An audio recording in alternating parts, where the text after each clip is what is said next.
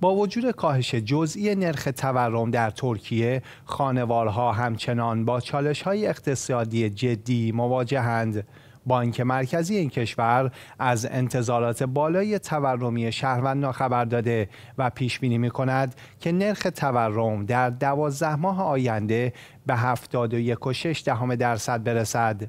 این موضوع نگرانه های جدی در خصوص قدرت خرید و افزایش هزینه های زندگی را به همراه دارد به طوری که بسیاری از شهرمندان هنوز به تلاش های دولت برای کنترل تورم اعتماد ندارند. همکارم در گزارش خود به بررسی این موضوع پرداخته که با هم می‌بینیم.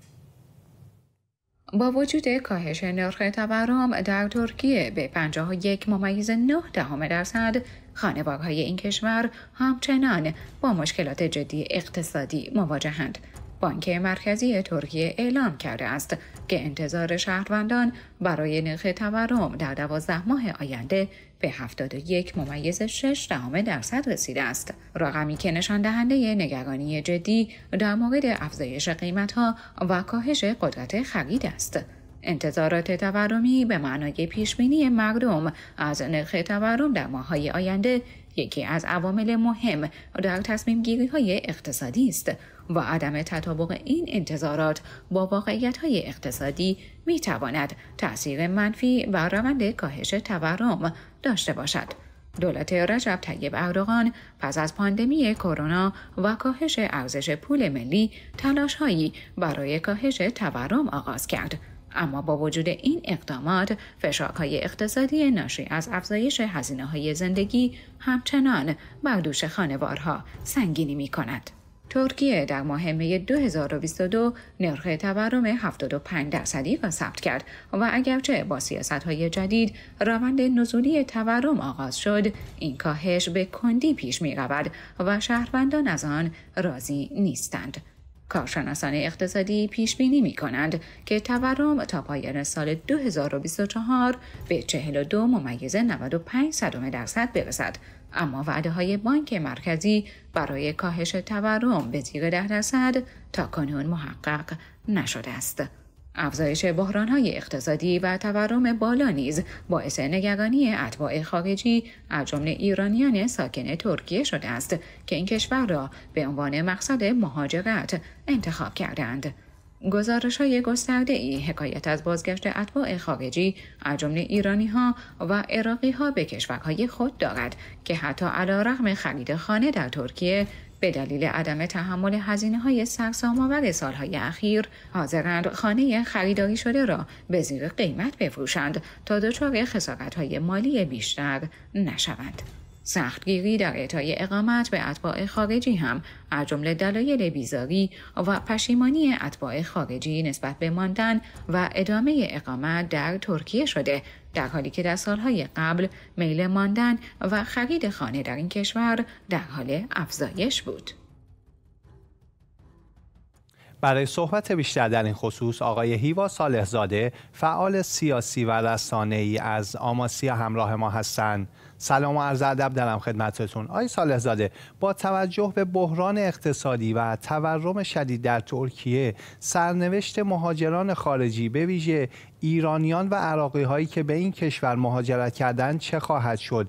و آیا این شرایط آنها شرایط آنها را به بازگشت به کشورهای خود و یا کشور دیگری ترغیب می کند؟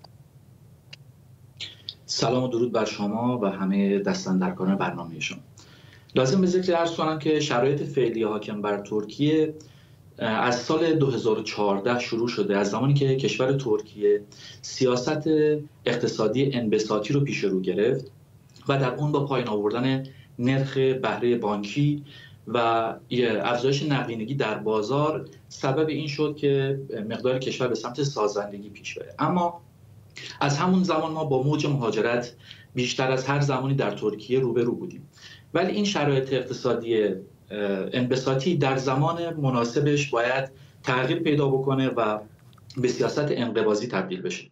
ولی خب دولت در این زمینه نتونسته کار آمد باشه و متاسفانه این وضعیت انبساطی هر روز منبسطتر شده تا تبدیل به یک تومور بدخیم اقتصادی در اقتصاد و اکنومی ترکیه شده. طبیعتا تبعات همچین شرایطی بر مردم می‌تونه از کمتر شدن قدرت خرید مردم افزایش نابرابری در جامعه و همچنین افزایش بزهکاری در جامعه و در نهایت مهاجرت باشه. مهاجرت یکی از تبعاتیه که این شرایط اقتصادی می‌تونه در یک کشور با اون روبرو بشه. طبیعتا در این وضعیت مهاجرین شرایط بسیار اسفناکتری رو تجربه خواهند کرد.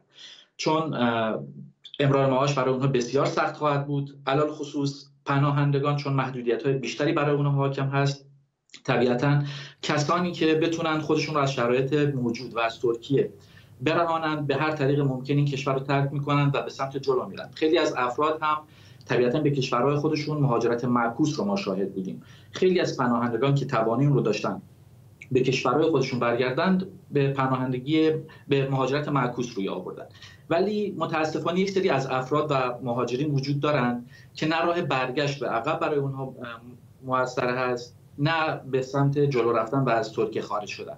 این افراد واقعا در حال حاضر در شرایط بسیار تلخ و اسفناکی به سر می‌برند و متاسفانه گاهی مردم عموم ترکیه بر این باورند که شرایط حاکم بر ترکیه از نظر اقتصادی شاید مسبب اونها پناهندگان باشند که اینجا مشاغلی رو اشغال کردن و مردم گاهی انگشت تام رو به جای که به سوی حکومت و دولت پیش ببرند و سیاست های اقتصادی اونها رو انتقاد کنند بله. بار بیشتری رو بر روی پناهندگان و مهاجرین می‌ذارند در حال حاضر وضعیت پناهندگان و مهاجرین به خاطر وضعیت اقتصادی بسیار پیچیده شده و ما شاهد این هستیم که افراد تصمیم بر این می‌گیرند که چند خانواده در یک خانه مستقر بشن تا بتونن از پس هزینه های اجاره خانه و امرار معاش بر متاسفانه آمارهایی که در به صورت رسمی اعلام می‌کنن در بابت تورم نمیشه زیاد بر اونها استناد کرد چون